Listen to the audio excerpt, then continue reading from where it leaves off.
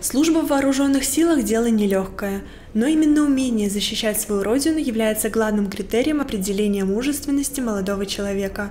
С целью воспитания молодежи чувства патриотизма и желания защищать свою страну в средней школе номер 26 было организовано агитационное мероприятие, направленное на призыв молодежи к поступлению в военные вузы нашей страны военнослужащими 38-й Брестской отдельной гвардейской десантно-штурмовой бригады была представлена выставка стрелкового оружия и военной формы, которая заинтересовала многих. Мы отработали график проведения таких мероприятий, пригласили сюда представителей э, военной академии, э, других э, учебных военных заведений, для того, чтобы они могли рассказать молодым ребятам о э, такой профессии, да, как офицер, э, э, о э, курсантов.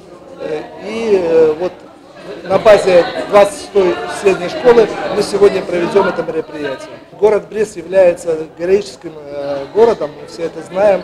Э, с ним связана, скажем, такая славная традиция да, воинов-защитников, поэтому э, военнослужащие офицеры, я считаю, что в городе Бресте пользуются э, достаточным авторитетом, и поэтому профессия офицера в городе Бресте является такой, скажем, востребованной. В школе также состоялась встреча с представителями различных военных учебных заведений, которые рассказали о преимуществах учебы в военном вузе, о порядке зачисления, а также поднималась важная для каждого выпускника тема – актуальности и востребованности данной профессии в современном обществе.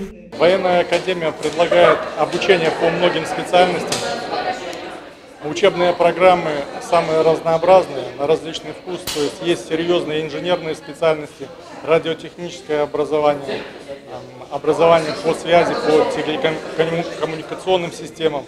Можно стать а, пилотом самолета и так далее. Защита Родины э, является одним из, скажем так, приоритетных направлений для любого молодого человека. И это не только почетная а, значит, обязанность каждого гражданина, но и значит, учеба в военной академии развивает молодых людей с разных сторон. Вот. И умственно, и физически. Не каждый способен оставить мобильный телефон, вот тапочки и диван, и поменять его на жесткий распорядок дня, а, достаточно серьезные физические нагрузки.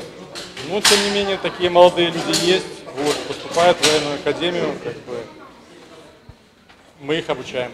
Некоторые выпускники по-настоящему заинтересованы в том, чтобы связать свою жизнь с военной службой, потому что умением защищать свою родину должен обладать каждый мужчина, а у других это цель продолжить семейную династию. Я планирую поступать в военный э, вуз нашей страны, потому что считаю, что каждый мужчина должен уметь защищать свою родину, свой народ.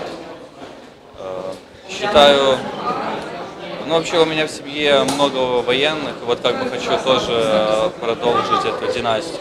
Такие мероприятия наглядно э, показывают, э, что из себя представляет эта профессия.